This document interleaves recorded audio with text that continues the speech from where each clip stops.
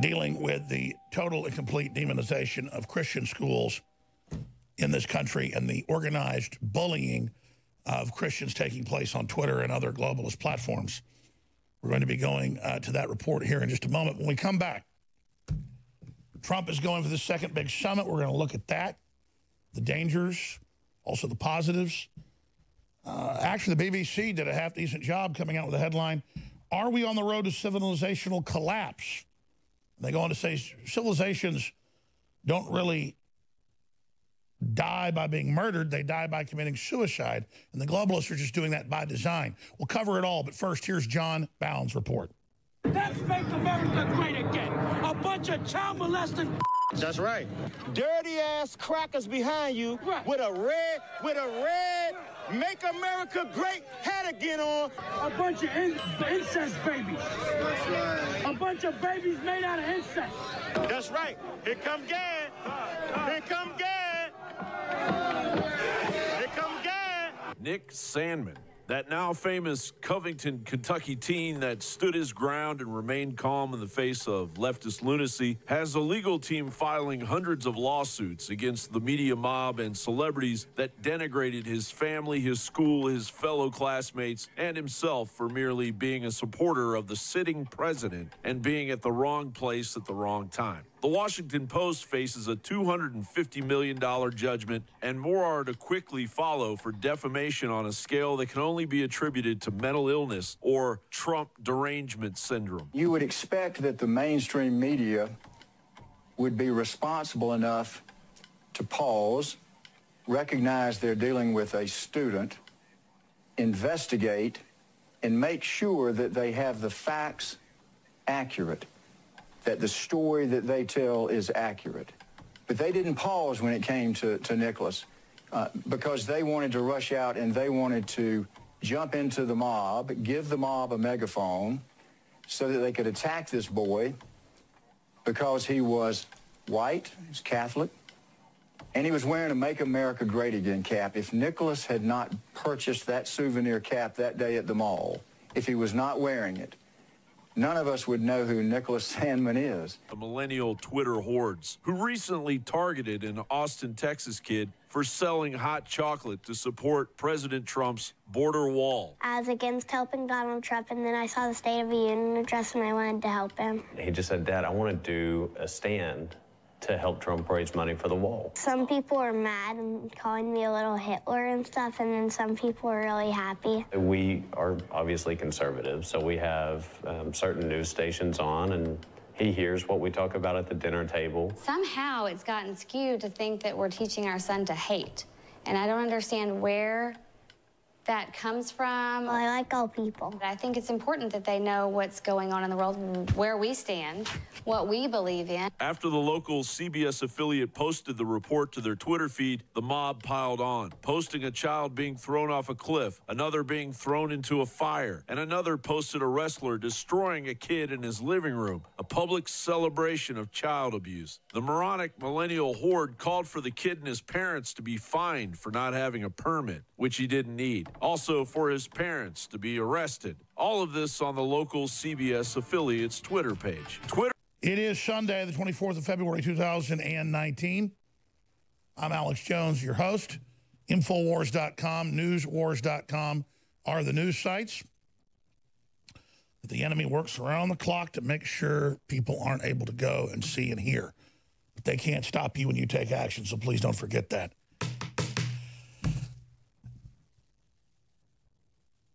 The first thing I want to just mention is something I'm going to cover at the bottom of the hour in some detail. And that's the BBC does a half-decent job pointing this out, but then, of course, their solutions are set up a planetary government and, and, and bring in more tyranny to, to the societal fact that they point out that is accurate. Are we on the road to civilizational collapse? Great civilizations are not murdered. Instead, they take their own lives. And that ties in with biblical locust plague set to hit Egypt. We're going to look at both those articles. And then the good news is Trump, North Korea, berate failed Democrats ahead of Vietnam summit. You know, I'll give Trump this. He's bold to try to get denuclearization. He's bold to try to cut China out of the equation that's basically helped keep North Korea as a Stalinist hermit state. And it's a big gamble because the globalists don't want peace uh, over in that area of the world. It's part of a larger global strategic plan to use North Korea as a detonator for a wider global war.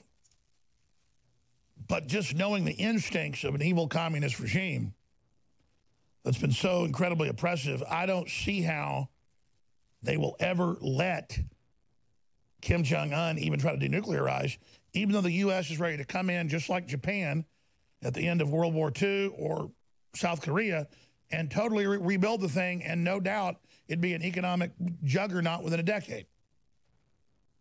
But can you get entrenched, really evil bureaucracies to stop that? Uh, you know, the difference is the U.S. dropped atomic bombs on Hiroshima and Nagasaki, and the Japanese power structure finally capitulated. And then they can be reorganized.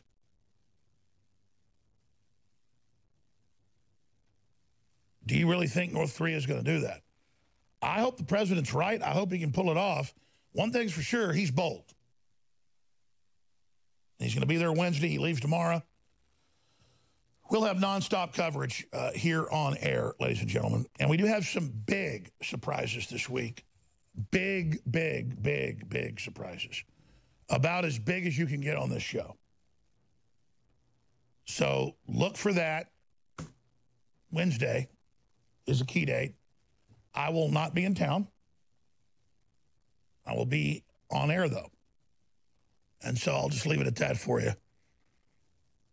So you want to stay with us throughout the week. The weekday show is 11 a.m. to 3 p.m. Central. You have David Knight and the David Knight Show before me, 8 a.m. every morning to 11 a.m. Of course, you have Owen Schroyer and the War Room. I also have an update on Roger Stone. Roger Stone, since he got completely gagged, uh, where he can't talk about anybody that's even in the case, Mueller, Trump, anybody, uh, has not talked to me. I talked to some of the folks that were in the courtroom. They said, no, it was all about InfoWars. And, and the judge and people were interested in trying to shut you up.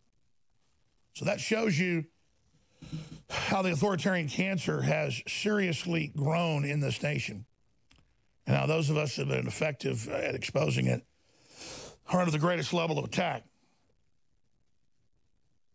But then there's other stories that are just so illustrative of perception versus reality. And one of those is Russiagate. You've got Jeannie Rhee, one of the main prosecutors in the whole Russiagate fiasco, the Inquisition, the, the witch hunt on steroids, the fraud, the, the Red Scare for real.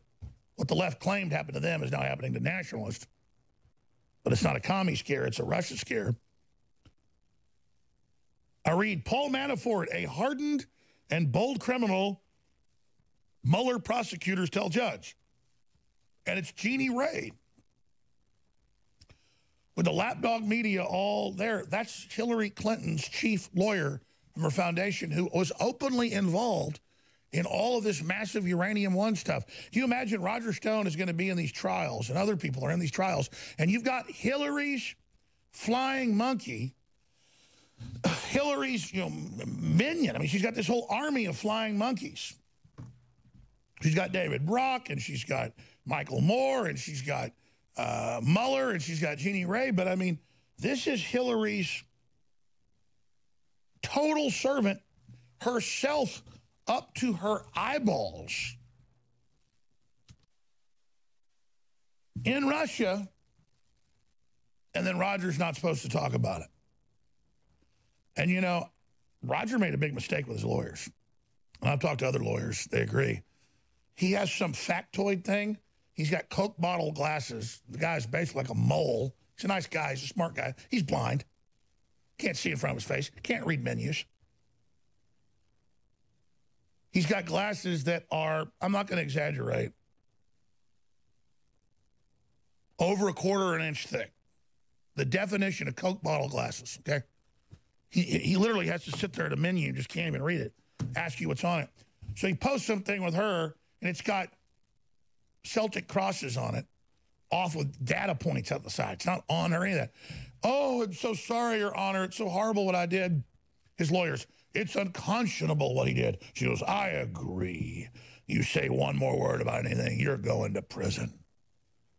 And everyone then rolls over and pees on themselves. So, Mr. Magoo, that's his code name. That's what his wife calls him. And of course, he likes to act like he's the James Bonzi guy. And he's a smart guy, but no, he's Mr. Magoo. He has to look really carefully when he goes downstairs. I'm trying to be mean here. It's true. I'm sure when I'm 60-something, my eyes are... I used to have 2015 vision. Not even 2020 now. I have trouble in a dark restaurant reading a menu. So, my point is, is that notice uh, none of the media but the New York Times showed you what he did. And that was cropped with the judge and then a little Celtic cross up here in the corner with some you know lines of data out to the side. Now scroll down, show folks. So, so that's what's going on. And, and enough about Roger. It's just it's just the climate in this country. And then to talk to some of the reporters that were there, and then they call me the next day and they go, sorry, I, I can't even talk to you now. They're saying it's anybody in Roger's orbit can't ever talk. You know, that's not in the order. Uh, and uh, they're talking about gagging you. Well, of course they are. My God. But one thing that's going to happen is I'm not going to kiss that corrupt judge's ass, that dirty, filthy criminal. I'll get up in front of her and tell her she's a filthy criminal. Judges that have a good record, I'll respect them. I respect our judicial system, the Bill of Rights, Constitution, the three branches of government. I want America back. But she covered up Benghazi. She covers up with all this corruption, illegal spying, and all this crap She's an un-American threat to this country. She's a judicial tyrant, just like the Nazi judges. I'll never kiss her ass, ever. I'm not involved in Russians. You are. With Jeannie Rhee and Hillary, you're covering up the real threat. You're the threat to America. So get that in your damn pipe and smoke it. All of you. These damn people are on TV saying we're going to kill your babies after they're born. And I got stacks of news where they're going to teach five-year-olds now they're another sex in mainline schools. They're coming for everything. Now there's so many of these, four or five a day, a couple a day that become national news that I can't even watch them all to keep track.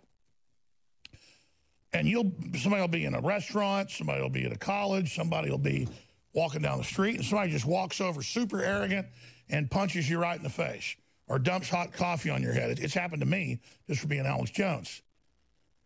And the thing is, then they'll go brag to cops. They always get arrested now because they're like, yeah, I did it. He deserves it. It's like some of those women that came out and admitted that they just lied, never met Kavanaugh, he never raped him. They go, but he's Kavanaugh. I mean, he's a bad guy. I mean, he is a rapist. Blasey said it, so I wanted to support him. Well, no, Blasey's story was fake as well, Blasey Ford. Little Miss CIA Sunshine. You notice she's disappeared off the radar, all these failed attempts at hoaxing. Just like Horseface. a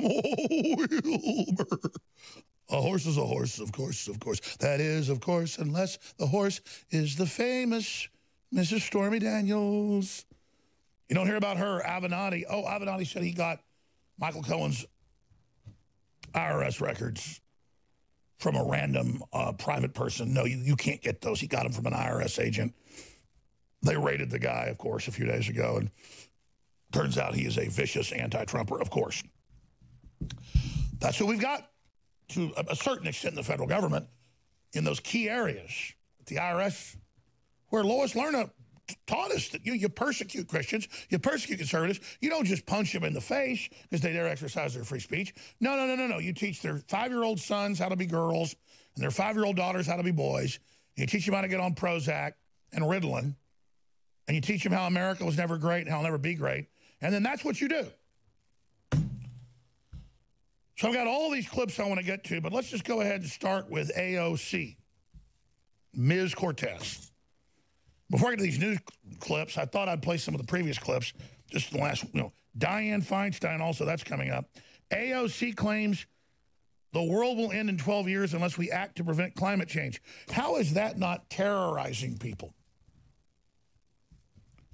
How is that not terrorizing young people? And, and how many pizza places have you been in? Or how many school plays have you gone to? How many times have you been around children's artwork?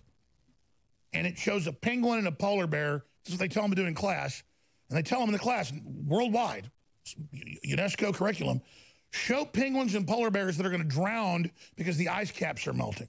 Well, the ice caps every year in the Arctic and Antarctic summers get smaller, and they get bigger in the Arctic and Antarctic winters that are reversed. But they show you penguins and say they can't swim. They're one of the best swimming birds on the planet. Polar bears can swim 300 miles. They hunt on ice packs out to 300 miles and swim back, hunting beluga whale. But see, it doesn't matter. They show kids, look at the polar bear. type in polar bears global warming. Just click Google images. Yes, it's the same. There you go. It's always the image of a polar bear on a piece of ice, and you think, oh, it's not aquatic. It can't swim. Oh, my God. No, it's hiding up there to kill whales. It's so strong, type in polar bear killing beluga, that it can haul in, what, a 1,500-pound beluga with one arm. Boy, that's a tough animal. One arm fishes up an entire whale and eats it. Yes, they can swim in sub-zero water. A lot of idiots will go, well, why is it sub-zero? Be ice. No, salt water doesn't freeze as easy as fresh water.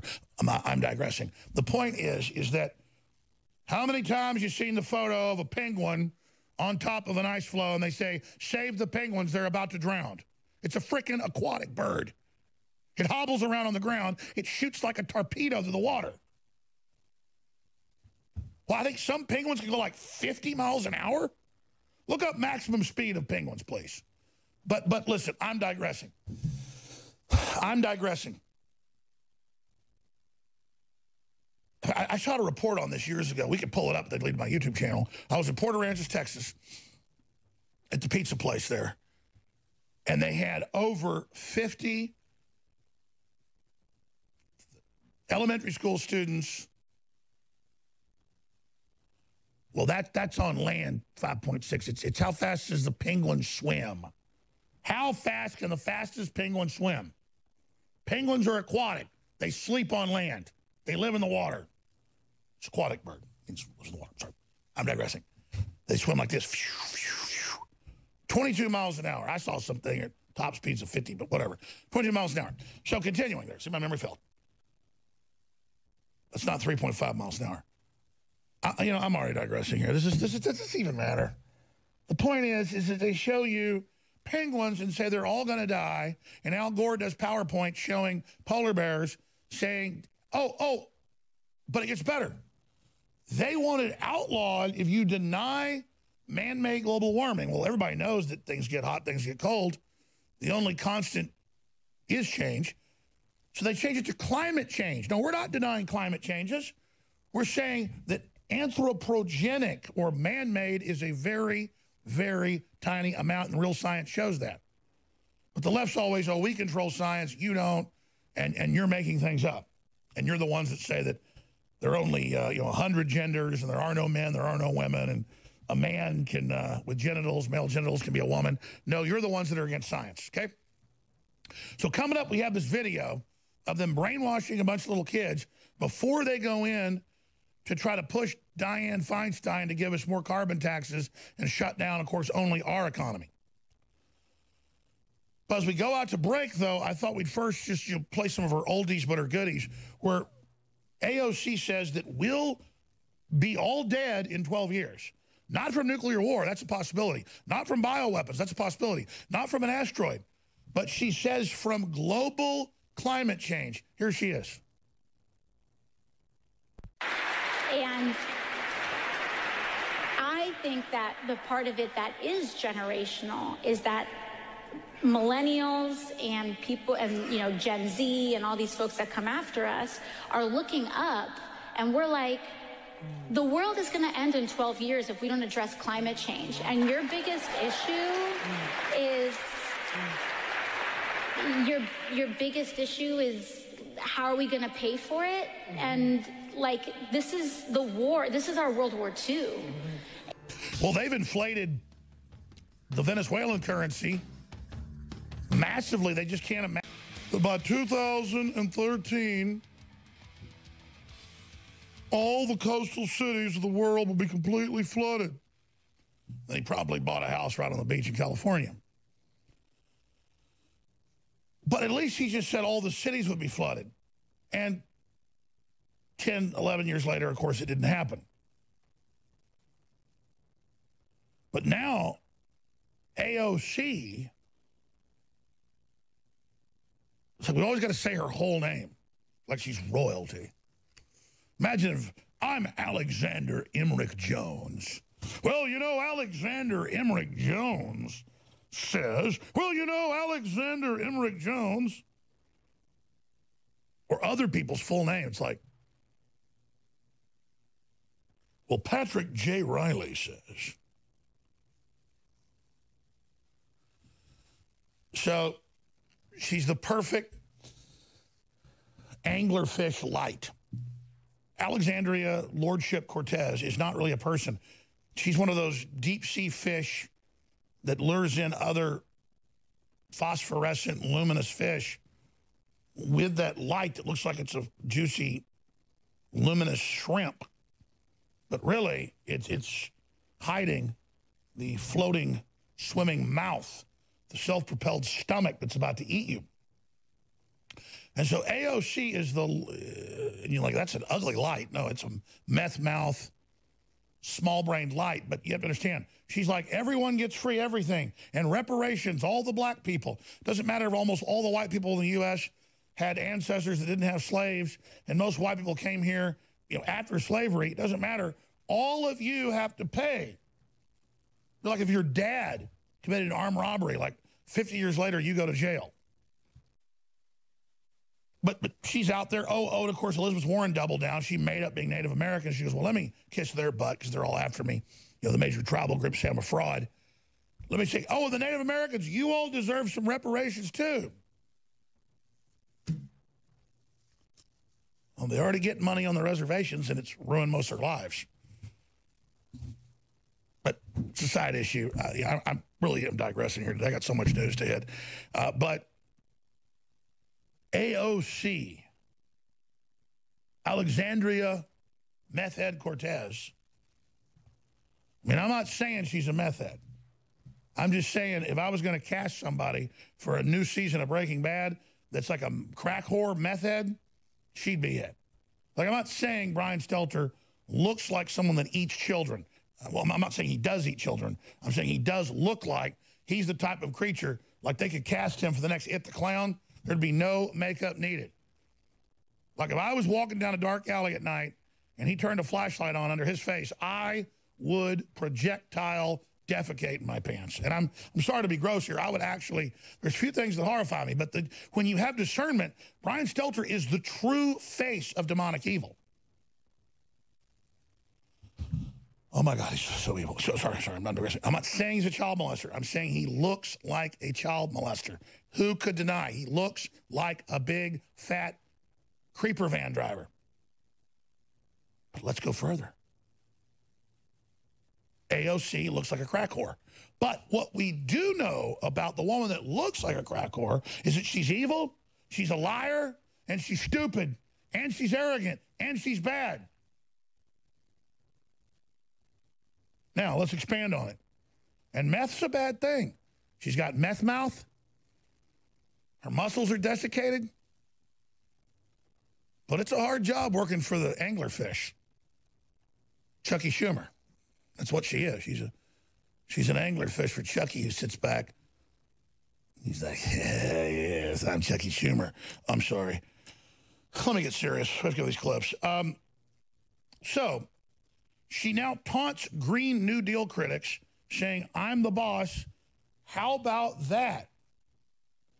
Now, if she wasn't such an idiot and such a moron and, and, and had more successes in her life, except being given everything, including the designer outfit she wears, that might actually work. But she's like somebody wearing the biggest cowboy hat you ever saw who's never seen a horse or a cow. But this is who they are. This is who they bring you. Up there promising, we don't need budgets. We don't need money. Everything's free.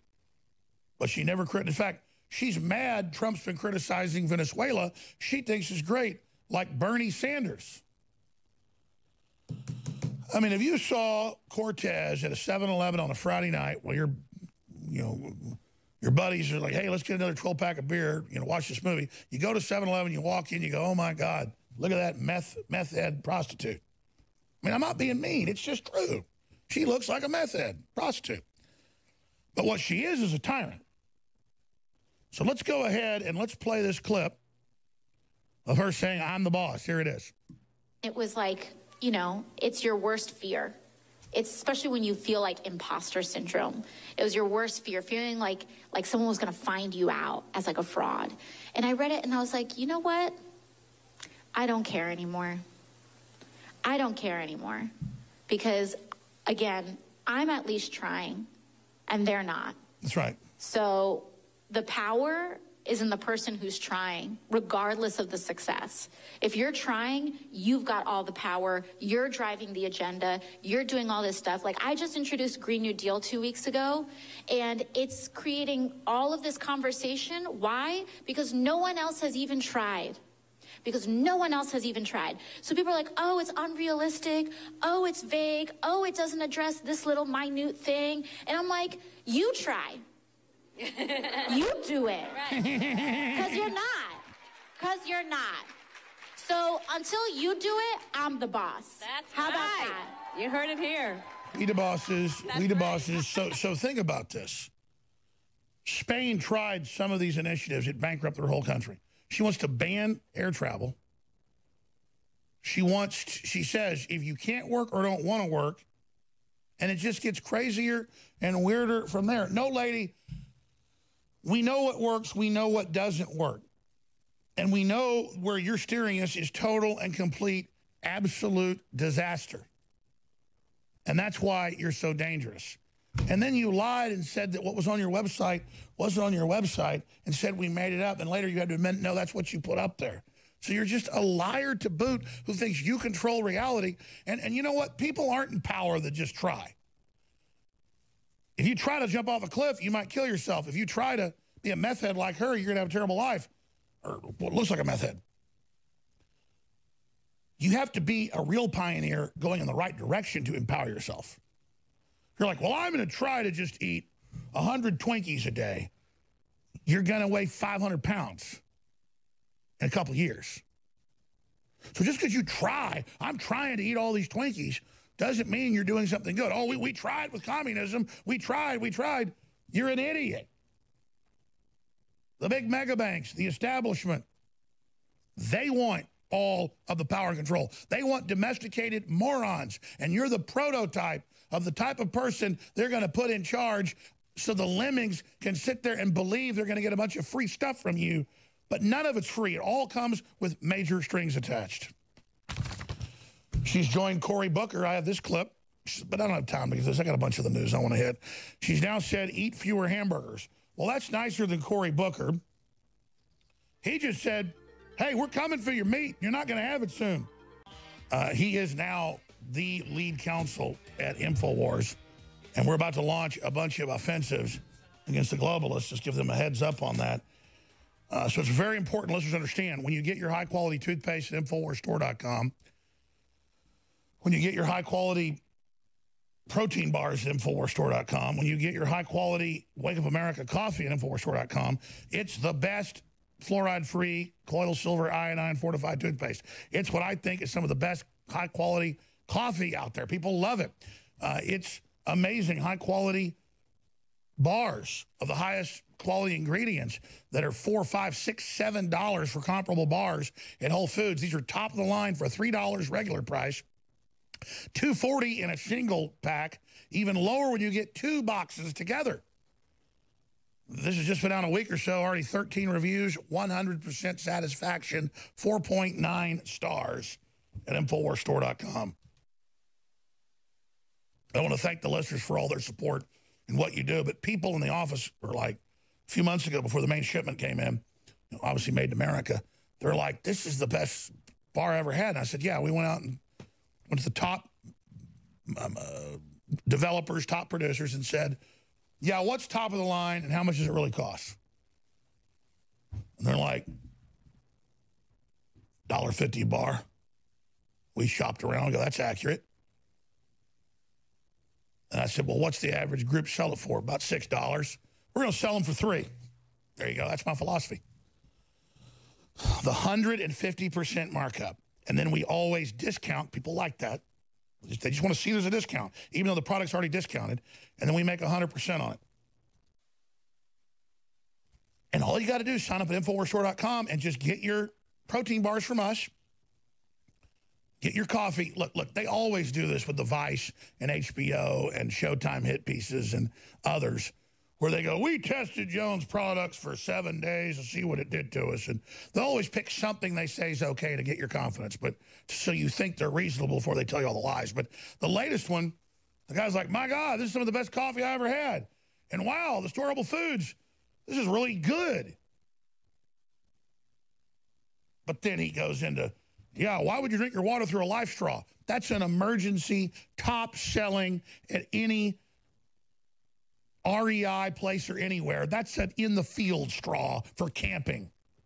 Oh, he's a con man. Why, he sells something that sold at Academy and sold at REI and sold at any camping or survival store.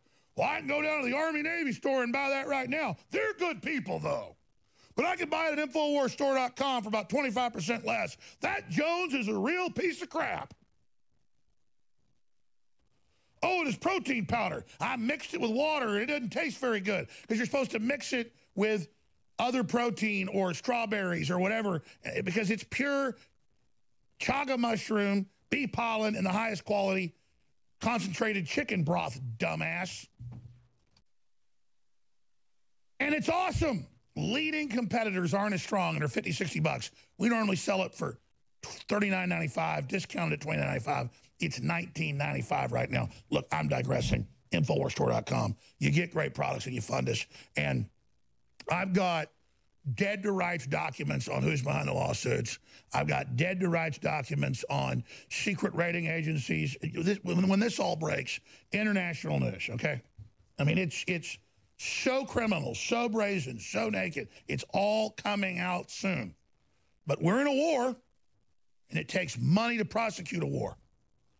So InfoWars offensive operations are about to commence. We didn't start the war. We'll finish the war. We're going to devastate secret organizations. We're going to devastate their criminal activities. And, and, and, by the way, you can't stop me. It's all coming out, even if something happens to me. You people think that everyone's dumb like the people you prey on. And most of them aren't even dumb. They're just just foolish and not conscious. We're, we, we know how to study things. And we're going to come after you, so get ready, you, you filthy, dirty criminals. And by the way, both parties are involved at the top. The political power structure is so scared right now. You'll never put yellow vest back in the bottle. You'll never put the 1776 back. It's, you're done. And if you want to try to tear me apart as some type of thing to threaten the public, you don't know the public you're dealing with. Yes, cowards like you, that works. Tearing, you think killing everybody at the Alamo made the Texans all piss on themselves and give up? It sent them into a psychotic rage of victory. You don't seem to get it.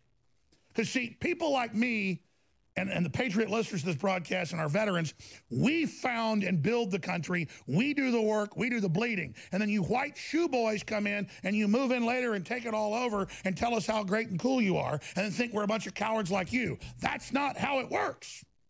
And you're going to find out. So have your fun. oh, I'm sorry. So I haven't gotten to this yet, and I got uh, Robert Barnes coming in studio. Smart guy. We're covering the whole waterfront here on a bunch of big issues. Big interview with him up on Infowars.com that folks are loving. We did last night. It's like an hour long, very powerful on a whole bunch of big issues. But we're gonna we're gonna get into. Uh, we'll just put it to you this way: a lot of things you're going to want to hear about in the next hour. Now, I haven't gotten to Bill Maher yet. And some people don't get it. They say, well, you say Bill Maher declared war on the Midwest. What he did was point out there is a war on the Midwest and the South by the left because the Christian ethos and because we don't want to be in Hollywood and all the rest of it. So he says, you know, Amazon, you should build in the Midwest so he can teach kids how to be gay. He actually says that. So he, he gets into his whole his whole religion with everybody and how we want to be him and how beautiful the left is. We're going to make a little mini documentary this week. We're going to do it. Where, where he talks for six minutes and we put the needles and the feces and the statistics and the giant exodus out of California and out of Oregon and out of Washington State and out of the East Coast and out of all these places they run. And we're just going to show him talking with all the statistics and numbers while he talks. But he says, oh, you poor, pathetic, stupid, redneck scum in the Midwest and in the South. We're going to teach you. You want to be us. Well, don't worry. Amazon, come to them with your slave wages and your third world workers. That's what they want. So they want to be in New York or Seattle. And we'll, we'll finally let you into the club and teach your kids how to give blowjobs. I mean, he literally says all this. So it's like he's so disconnected, like, oh, they really want Hillary. Yes. Yes, that's they really want Bill Clinton. Yes. Let's let's let's give them that immediately. It's what they really want. Let's let's give them AOC. Yep, gay and trans sex ed to be taught to five-year-olds in the UK. Opting out is illegal. And it's already begun here in the U.S. Oh, it's illegal. The state's going to tell your son or daughter they're a different sex and screw them up for life. And then if they decide, because they're have no age of consent now, basically, that they want to be put on hormones or whatever at age seven, we're going to do it. We're going to come screw your kid up and talk about chopping their huevos off. How's that sound? So are we on the road to civilizational collapse? We'll talk about this next hour. I'm a little bit behind today. We're, we're, not, we're, not, we're not just seeing civilizational collapse. We're seeing globalist, Malthusian, directed, hyper-exterminist eugenics in a neo-feudalistic fascism being implemented to create a breakaway civilization. As this civilization collapses, we will be used as fuel, both literal and figurative, for the breakaway civilization of the psychotic globalist. And that's even the London Guardian today. I know I told you about it 20 years ago. I was reading the more esoteric writings of the establishment. But now, in Silicon Valley's quest for immortality, a fate worse than death. Is Silicon Valley's quest for immortality, a fate worse than death, it is spiritual death. And it's the final con that, oh, you don't die. You'll be uploaded into this AI system that's been tracking you from birth, knows your voice print, your mannerisms, how you talk, what you say, but it won't be you, but it'll fool everyone that you've been uploaded into it. And bring Robert Barnes in here with a whole bunch of breaking news on the other side of this break. But I wanted to go to this special report because, you know, all the smart tech is designed to spy on you and report back to the mothership. All the AI, all Google, all of this is about that. And so now Google's like, well, of course we spy on you, dummy. Of course there's a microphone. Ha, ha. What? I mean, you think Alex Jones is wrong? Ha, ha. Here we go. Sundar Pichai, CEO of Google, one of many anti American Silicon Valley cohorts subverting our republic, recently spun this deception during a hearing on Capitol Hill. Google has long faced criticism for manipulating search results to censor conservatives. Conservative individuals and organizations have had their pro Trump content tagged as hate speech or had their content reduced in search results. And enforcement of immigration laws has been tagged as hate speech as well. Such actions pose a grave threat to our democratic form of government. Dr. Robert Epstein, a Harvard trained psychologist, authored a study recently that showed Google's bias likely swung 2.6 million votes to Hillary Clinton in the 2016 election.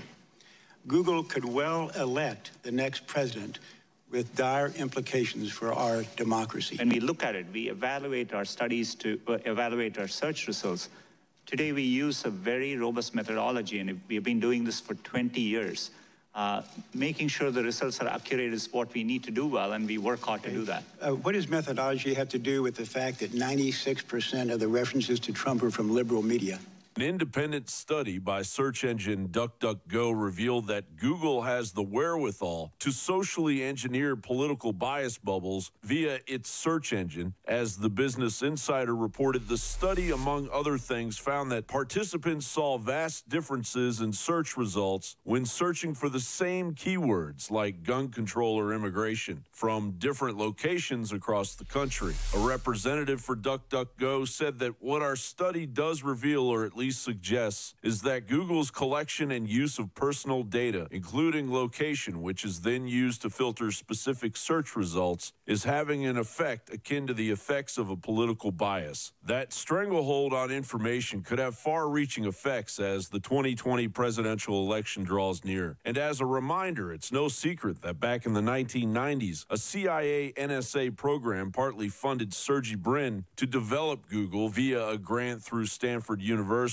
A couple of decades later, the Department of Defense's deep state monstrosity Google is overseeing a U.S. population addicted to its search engine and its surveillance technology, invading every inch of our private space. A way of creating a digital fence around the sheep to ensure their individuality doesn't allow them to stray from the flock. That's crazy. Like, are you able to see where I live and everything? Inadvertently responding to this revelation by white hat hackers concerning the microphones and their Nest cameras, Google responded, as Business Insider reported. In early February, Google announced that its home security and alarm system, Nest Secure, would be getting an update. Users would now be able to use Google Assistant on their devices. The problem users didn't know a microphone even existed on their Nest Secure devices to begin with. The existence of the microphone was never never disclosed in any of the product material. A Google spokesperson told Business Insider it had made an error and that the on device microphone was never intended to be a secret and should have been listed in the tech specs. What a complete crock of shit. Face it, we are currently ruled over by a lawless Silicon Valley apparatus supported by a Department of Defense circumventing our God given rights on our own tax paying dime. Socialist candidates linger on the horizon of the uh, Full report, Infowars.com. John Bowne out of the park as usual. Trials. They tried to put him in prison uh, for simply teaching people that the IRS violates a lot of your rights. That the income tax uh, has more holes in it than Swiss cheese. Joe Banister. Uh, but you've also represented some of the Covington kids. Uh, you've been involved in so many big famous cases, Ralph Nader and, and, and, and ballot access show. But you're not the type of guy they like to put on the news because successful lawyers, they don't generally put on unless it's an Alan Dershowitz. He's kind of a exception. The ones they put on are the ones that keep losing to the system because they want folks to get those lawyers. But you've been very, very successful. Exactly. I mean, the, the way the system is designed to be, they're not going to promote people who are very good at hurting the system. They're going to promote people who help the system. So they're going to promote libel lawyers, for example. Pull your phone, please. That, that, are really that are really bad at it. Um, oh, nice music, though. Yeah, it does have nice music. The uh, uh, is about the best thing about it. But they're going to promote people that deliberately help the system, that help the system get away with responsibility, that help the system escape liability, that are going to help the system promote itself. So they love libel lawyers who lose all the time, just like the government loves criminal defense lawyers who lose all the time. So you look at, I mean, you know, one of the issues with Roger's case is the first thing that happens is the criminal defense lawyers are going in. Well, let's talk about that because we're going to, I'm going to spend all day on courts, but this judge, what she's doing, uh, the whole situation with Manafort, Roger being gagged, uh, now the latest on the Covington kids, because you don't want to say any mean things about who some of the kids are being represented by, but the truth is they've never won one of these libel cases. And even Dershowitz said, my God, I'll never say this, but you need to fire your lawyer. You were privately telling me that two weeks ago when you were here in town, and then you don't want to say it on air, but now Alan Dershowitz has said it. Yeah, he has. And, and what Professor Dershowitz's point was, and you, you rarely see him comment about anybody else's relationship with a lawyer. And what he said on the air on Fox News, on a conservative site, was that the way in which the suit, certain suits are being brought are going to jeopardize the ability to win those suits, are going to allow the media to get away with it. And like the reason why we're being very careful, so I'm, I'm bombarded with questions about people are asking, what are you going to do on Covington? How are you going to do it on Covington? The reason why we're very careful, we roadmap everything out, is we want to make sure we win.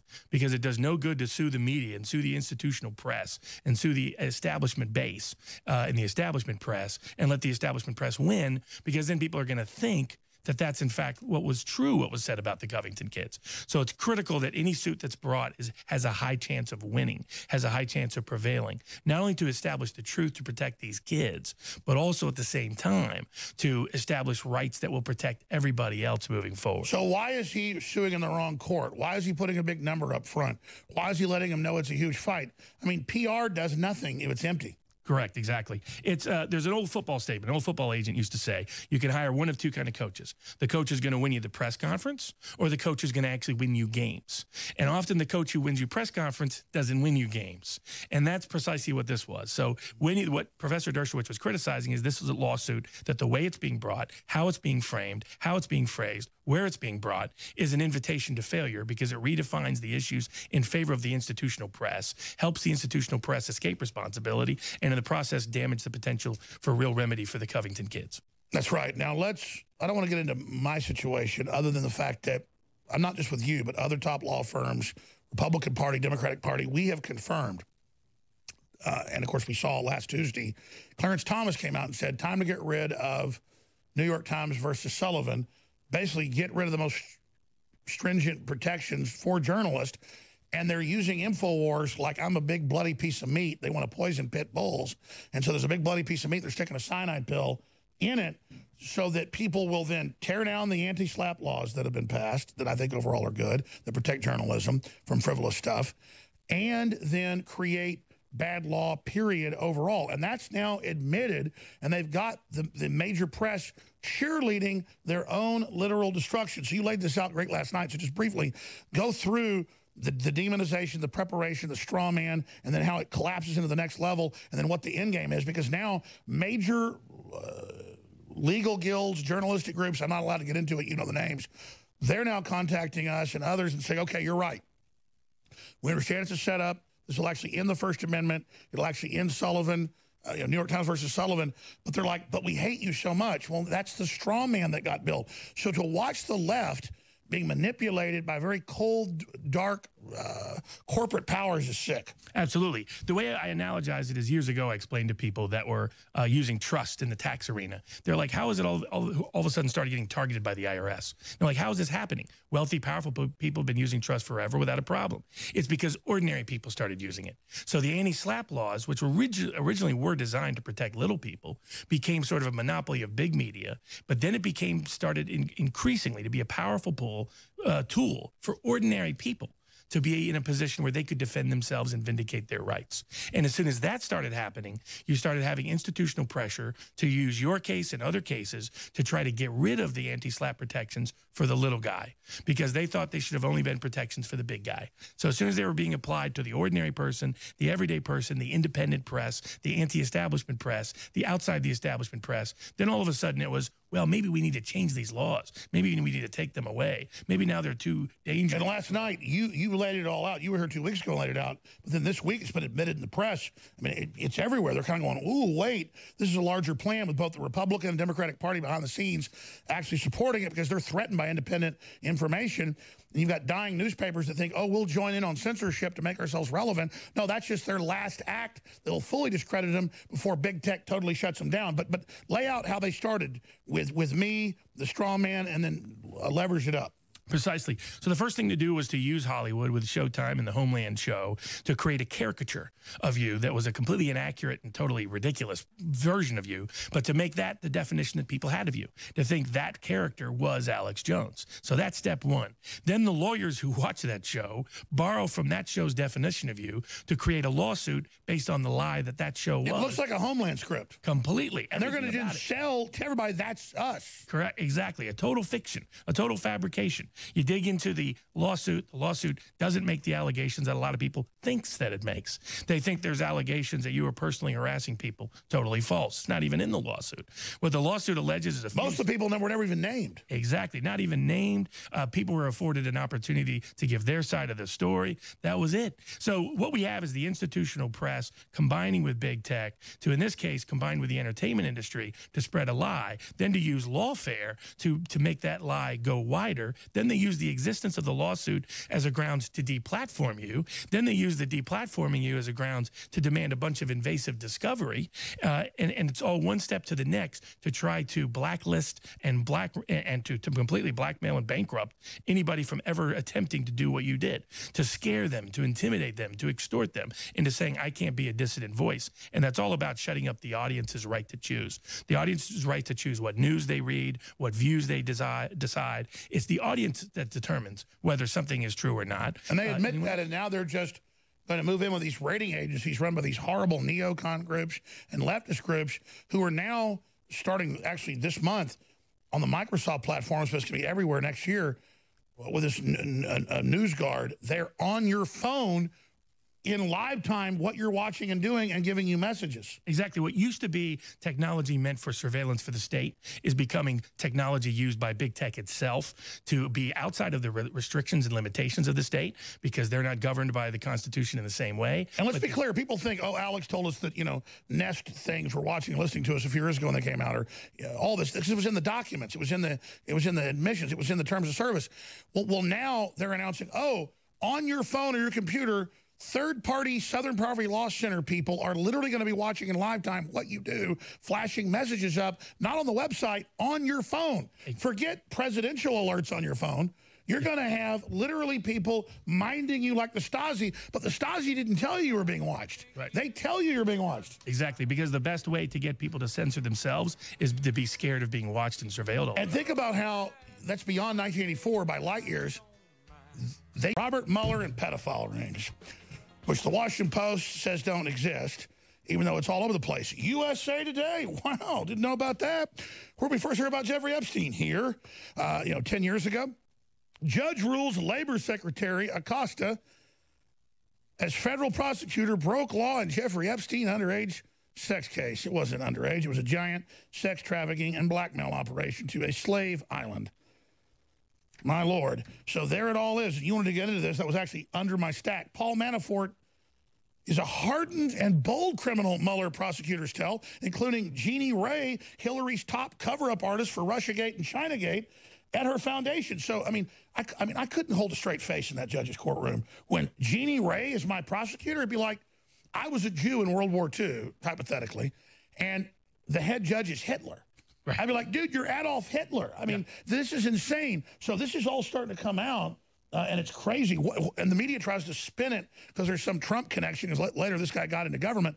This is bipartisan. Clearly, they tried to set up uh, uh, high-powered uh, you know, lawyers and other people that weren't involved. That's all Mueller stock and trade. So condensing this down, Robert Barnes, uh, you've, you've really studied it. What's happening? So there's one name that all those stories are connected to. The Epstein case, the Manafort case, and the Roger Stone case. And interestingly enough, it's the one name that the judge in the Roger Stone case said that Roger Stone can never reference. Not only can he not reference it related to his case, he can never talk about one name, period, while his case is pending in court, which could be years. And what name is that? Robert Mueller. And what is Robert Mueller to do with the Epstein case? Guess who was FBI director when that deal was done?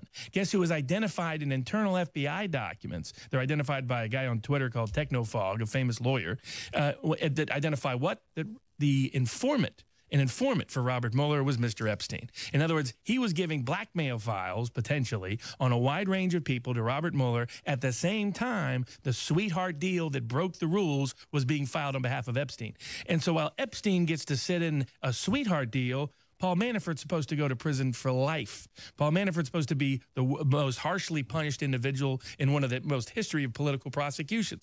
So my, Paul Manafort, who's never been accused of anything connected to pedophilia, uh, is going to go to prison for life and rot until he dies. But Epstein, who is running a blackmail ring of underage prostitution, gets to walk.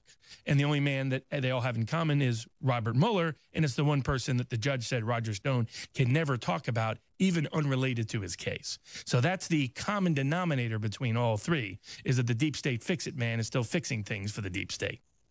And, and again, this is bigger than Russiagate, all these things. It's a window into how Hoover operated, a window into how uh, you know, other big titans of control have operated, uh, whether we, we were talking about it last night, and, and, and what happened with some of the Hollywood groups, this is done over and over and over again. And when you look at the judge's ruling on Stone, he obviously got maneuvered by his lawyers to say this is the worst thing ever. We grovel, your supreme majesty. When you read what they said, oh, we're so terrible. We're so bad. There was a shot of you on his website with a little uh, Celtic cross up in the corner, factoid with letters and words after it.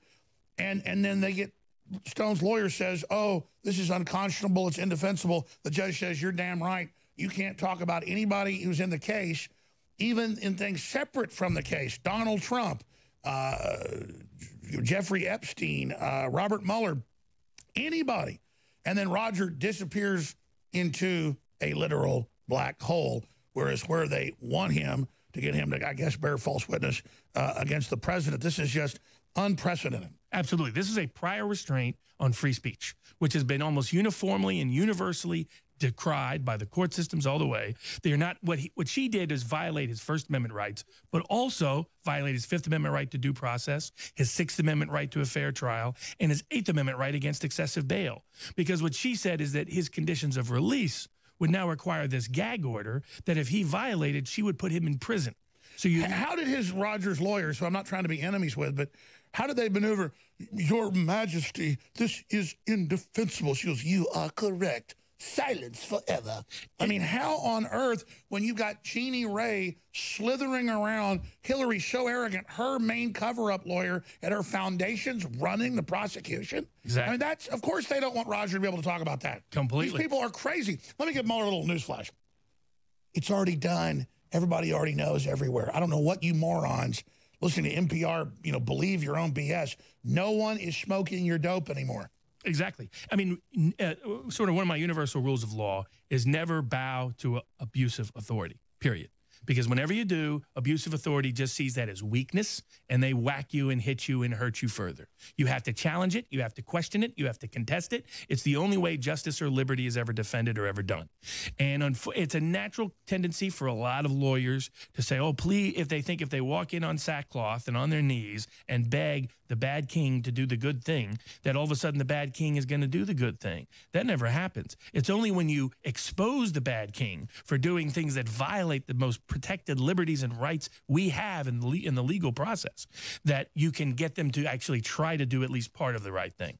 And that, I think, was a practical and tactical error here that backfired to where Roger is in a literal black hole where he has literally been told if he speaks in his own defense in a criminal case, even about while the entire corporate media rains down lies 24 7. Exactly. If he merely responds to a defamatory, libelous lie in the public about him that's negatively influencing his reputation forever outside of the contours of the case, if he says one word in his own defense, he goes to prison. By the way, it's worse than that. Before everybody else that was in the courtroom clammed up, they said, well, they were obsessed with you and could you be silenced? Exactly. And so reportedly, the judge is like, once anyone he ever knew, you can't, they, and then by that, six degrees of separation, the whole planet.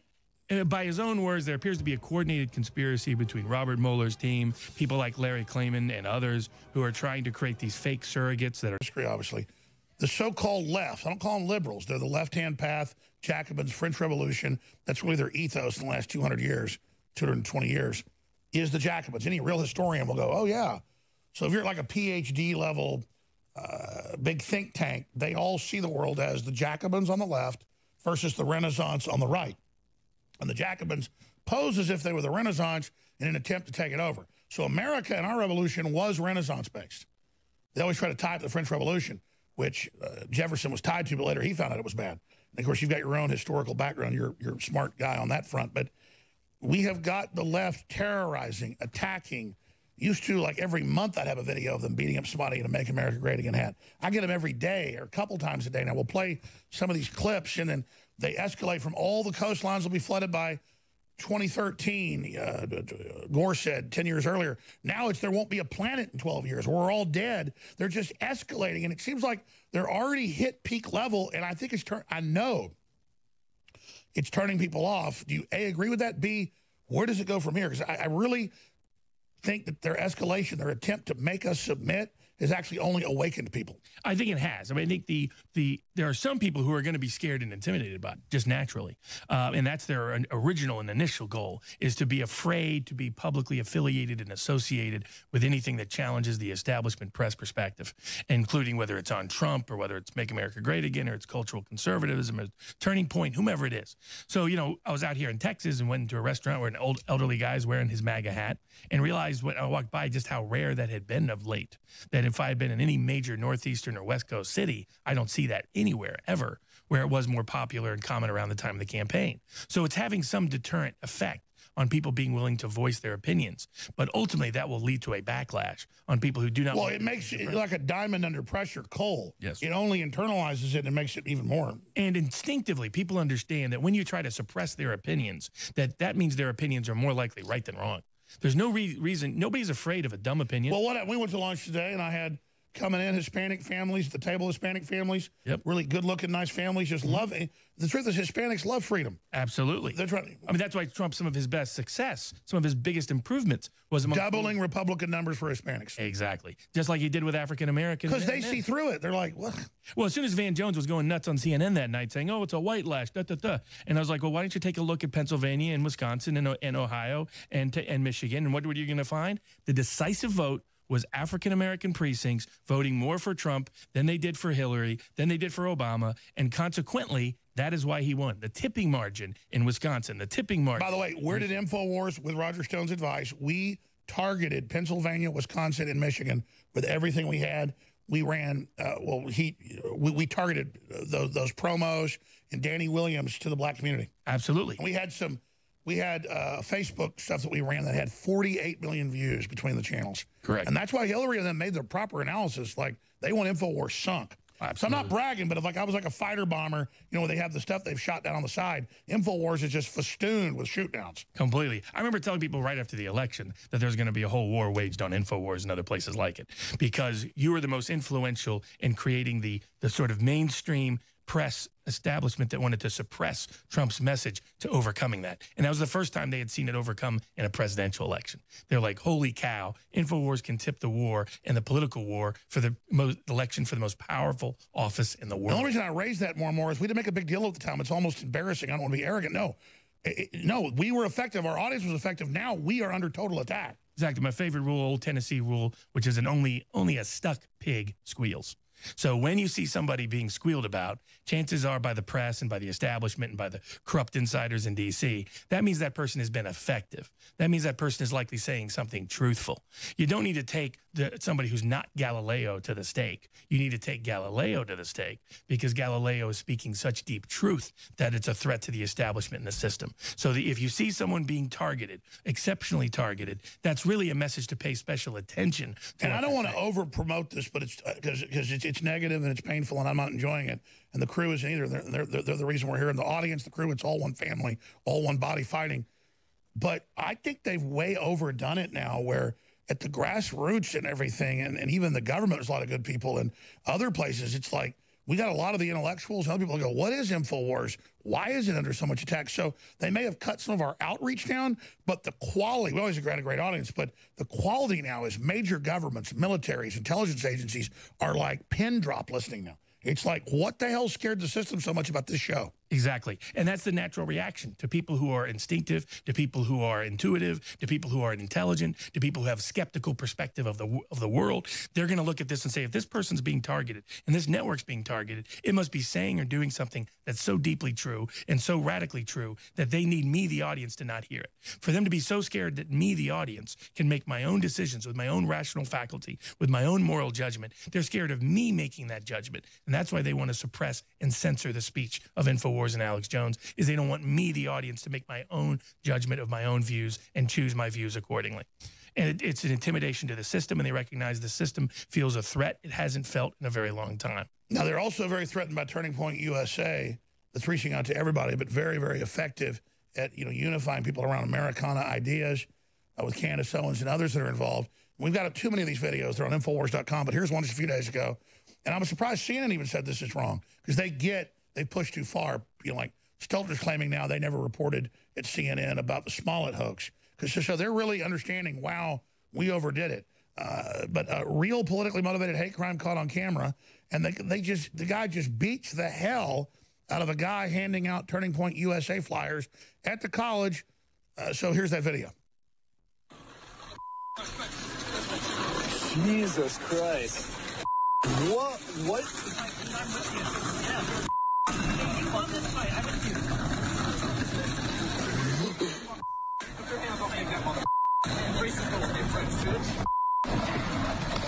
Oh, And as long as he calls him racist, he can punch him over and over again in the face. And when they say the racist word, it's like a white guy beating up a white guy. And it's white guys almost always wanting to show off that whites are bad. F you white people. It's, it's total mental illness. Absolutely. They're all trying to seek social prestige points, that they're more morally just than others. I always point out whenever somebody makes that point to me, I'm always like, well, tell me about the civil rights cases you've supported. Tell me about the civil rights movements you've been a part of. You've been a part of civil rights cases. You've been a part of civil rights movements. These kids, they never have. All these big grandstanding lefties who want to make big uh, social media points about how they're for civil rights, where are they on the front? Oh, I'm not bragging about myself, but you try going and protesting the Klan uh, 20 years ago in East Texas. The, the, some of those towns are bad. Those cops are against you too there. Not all cops are bad, but most cops are good. But there you're like, the Klan's threatened to kill you, and you say, hey, cops, do something. They go, F you. We're in part of the invisible empire. Exactly. I had a cop in Mississippi tell me if I ever came back to town, it'd be the last time anybody saw me. So that's, uh, I'll respect people who actually do something substantive and something concrete. But it's like a lot of people who, who virtue signal for refugees or virtue signal. I've done pro bono work for actual refugees. Don't virtue signal for fake refugees when you're not, not even willing to take them into your own house. If you really care about them, fine, sponsor them, put them up at home. Well, they're not willing to do that. England won't take in the famous Pakistani woman who was on death penalty, got out. They're trying to kill her. And then she's a Christian. They go, oh, you're a Christian. It'll upset Muslims if we take you in. Exactly. And instead, they're willing to let ISIS brides come back home. So the, the insanity of this sort of combination, all because of virtue signaling people who don't do anything for civil rights on the front line. And so their reflection of their harassment is really because they don't really believe in civil rights. They don't believe in civil, civil liberties. They don't care about constituencies that they claim to care about. They only care about them being morally superior to everyone else and having more power than everybody else. And that's why they're so threatened by those. Well, it's like AOC said. She said, I have the power, you don't shut up. Exactly. Uh, and uh, that I don't like to talk about something till the fish is in the boat. Uh, you know, gaffed and in the ice chest. And then it's Miller time. Uh, so that's what's going to happen. And I'm going to leave it at that and just stop right there. And we've got a bunch of irons in the fire, but a lot of calls this week. Love to take your calls. No calls today. We covered this last night in a special report, but I want to get into it again because I didn't elaborate enough on what I was going to say. Yes, you watched the Bill Maher piece from his show on HBO Friday night, and it sounds like he's loving flyover country in the South, or geographically, you know, 92, 93% of the country. In fact, that map they show isn't even accurate. It's, it's more red than that. But what he's saying is, oh, you, the South and the Midwest wants to be the East and wants to be California. I want to be clear. California is a gorgeous state. A lot of amazing people. Used to be more swashbuckling than Texas in many respects. It's been colonized by leftists, people going there from all over the country to be movie stars. I mean, it's like the narcissist of the planet went there and ruined it. So I, I, there's a lot of good in California. There's a lot of good in, in Oregon. There's a lot, I mean, you go outside Portland, it's wonderful people. Same thing with Washington State. But I don't sit there and, and hate the people and say I'm better than them just in general. But there is an attitude living here in Austin. It's been colonized by kind of the locusts that went to California and ate it dry uh, to the bone. And now they've come here that we're these losers, we're these idiots. We, you know, we're just ride horses to work every day. And we, didn't we haven't discovered toilet paper yet. And Maher just plays into that during the whole piece. Like, oh, Bezos, he should have, you know, done somewhere in the Midwest or he should have, you know, come there because they want to be us. Bezos mainly uses foreigner labor and people. And of all the tech guys, he, he's not even one of the worst. He at least doesn't own slave factories in China like Apple. Or he isn't helping the Chinese government censor people. I'm not defending Bezos either. But it's kind of true. Like, why are you on Bezos? He's nothing compared to this. But AOC runs him and his deal out of uh, New York City. I think blind hogs do find acorns. Broken clocks are right twice a day. She's right that Why should the whole thing be written off? Why should ultra rich guys that lecture us about being liberal all day not pay any tax? That's actually a point she's making. So I'm agreeing with AOC here, but you don't run it off.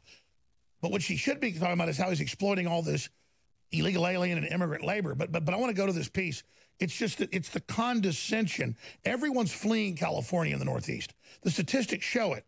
You say you have all the money. Well, yeah, the billionaires live there, but if you cut them out of the equation, it's one of the poorest areas, highest areas of welfare, feces everywhere, needles everywhere, highest crime. I mean, the truth is blue areas suck. So, yeah, we may not have the highest property values in other areas of the country, but we sure as hell, you know, uh, don't have our kids learning how to get blowjobs when they're five, or we still fly glory down at the courthouse. Well, exactly. In fact, when you look at it, you look at, like, for example, for Trump country, you can drive from the southern tip of Florida to the northern part of Maine, from the coastal part of Virginia to coastal California, from the northern woods of Wisconsin to the Texas Mexico border, and without hitting any Hillary County.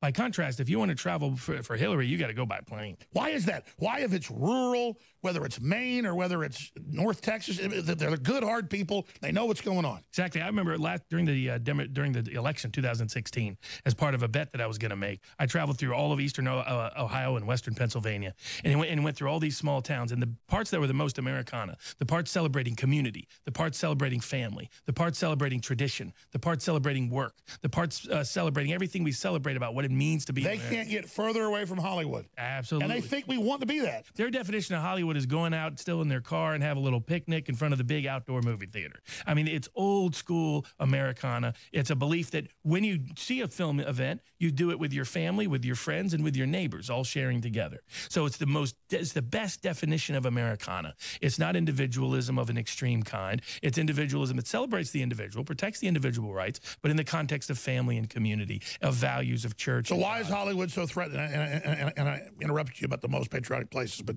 let me get into that. Absolutely. I think it's because as, as a core level, I think part of it is, is uh, a desire to be those people. I think a lot of these people in Hollywood down deep would much rather be honest middle Americana than they would uh, to be arrogant. Hollywood oh, almost culture. all the real Hollywood people have moved to the most rural areas. They love it. Exactly. Whether it's Paul, Dave Chappelle or anybody. Paul Newman, uh, Gene Hackman. I mean, these are people. I always said that the best Hollywood actors are people that are way, way out of Hollywood. I mean, uh, Snipes, Robert Duvall, absolutely, Robert Wesley Duvall. Snipes, exactly. They Everybody try to get away from it because they recognize the core, the culture. Rick Linklater's my friend. He's been never. He hates Hollywood. He's been 30 years out in the woods outside Austin. Precisely. Whereas the more corrupt ones, the ones that have been corrupted, you take someone like Michael Moore when he's in Middle America, Michigan, he's doing one kind of film. Then he goes to New York and he's doing a totally different kind of film.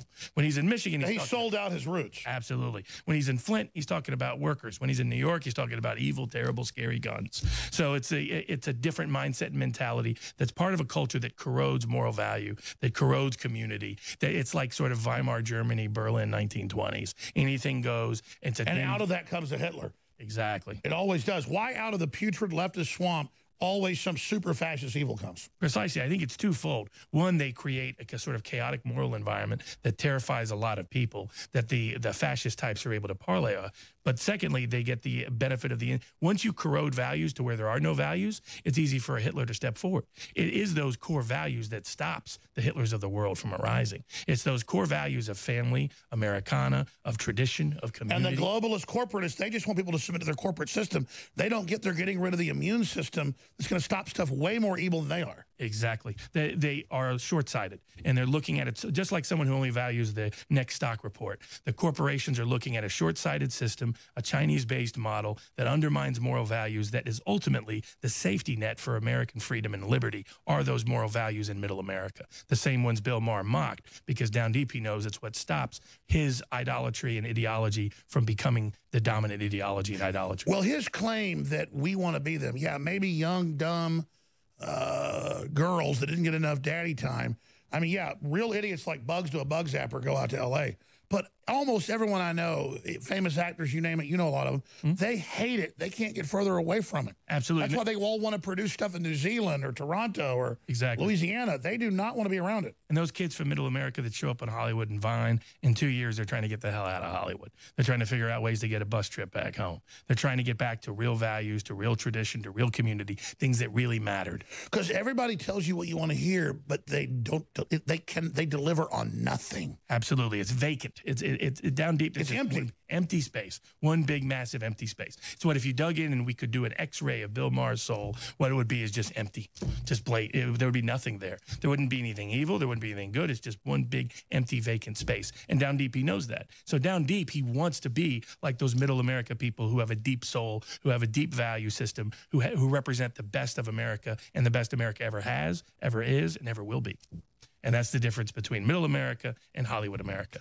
Because the soulless is envious of those that have a soul. Absolutely. Though down deep, they look at the life that eh, I couldn't. When I was going through, I wanted to move to rural Western Pennsylvania. It's like these are great ways of life. It reminded me of Southeast Tennessee. Great communities, great cultures, connected, caring about each other. The guy in the mobile home and the guy in the fancy home are just two blocks apart. So they can't ignore one another. They can't evade one another. They have to care about and respect one another. It's like the South and blacks and whites are all living right with each other. Exactly. And that's why you get the so the highest interracial marriage rate is amongst poor and working class Southerners historically. It's not amongst privileged class folks up in upstate New York. Oh, the white, and I'm not putting down white people. I'm just saying the whitest areas in statistics, Paul Watson reports, are white people who are liberal. Absolutely. They are the most racist. Well, they did a recent survey where they asked, and I'd seen this all the time growing up, I, the and saw it particularly when I got to Yale and law school. The, they did a survey and they looked at how liberals talk to African Americans versus conservatives, and what they found is that liberals. Well, no, that, that was even the Washington Post admitted that last year. They talk down to them like they're idiots. Totally condescending, because down deep they see them as less than human. It's it's like reading Thomas Wolfe from the late 1960s, Electric Kool Aid Test, those kind of books, where you about Lenny Bernstein trying to do a, a fundraiser for the Black Panthers in Upper West Side Manhattan, and how the solution to all the Upper West Side liberals uh, to having black servants was, oh, yeah, we'll have white servants instead. Not recognizing maybe the problem is their whole servant culture that they've adapted in the first place. Well, no, it's like you said about all these famous people go, well, if we don't have Mexicans, no one will clean our toilets. They don't know there's Mexican directors, scientists, everything else. Like the idea that the person cleaning my toilet is a Mexican.